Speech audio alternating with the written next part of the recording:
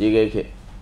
ရေခဲခေတ်ကိုရောက်ခဲ့ဘူးသူတွေဟာအထီးကျန်ခြင်းကိုတနည်းတစ်ဖုံဝင်တိုက်မိကြဘူးသူတွေကြီးဖြစ်တယ်ကိစ္စတစ်ခုကိုရေခဲဖြစ်ပြီးဟေးလို့អော်လိုက်ရတဲ့အရာသာဟာရှာကိုပျော်ရွှင်မှုပေးစွမ်းနိုင်မြချောကလက်ပူတင်လိုပါပဲတဲ့ကျွန်တော်တို့ရေခဲခစ်စီမတော်တဆရဖို့ချစ်ချင်းမြတ်တာအပြည့်အဝတက်ဝင်ရမယ်ဆူတောင်းစကားတွေထက်အစွမ်းထက်ဆုံးဒေသနာဟာချစ်ချင်းမြတ်တာပါပဲအခု ကျန်းစာအုပ်ကိုဖွင့်လှစ်လိုက်ပါပြီရေခဲခစ်ထဲမှာအဝါရောင်ပန်းပွင့်နေရှိမယ်ရေခဲမုတ်တွေအည်ပျော်ကြရာကဖြစ်လာတဲ့ရောင်စုံစမ်းကြောင်းတစ်ခုရှိမယ်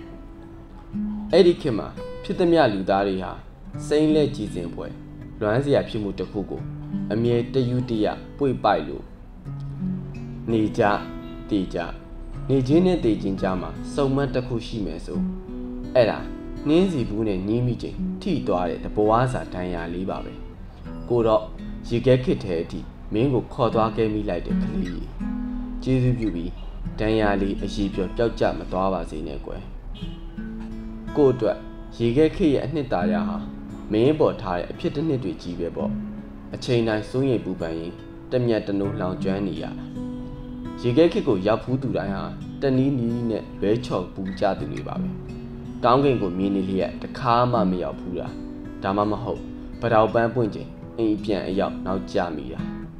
Black Ace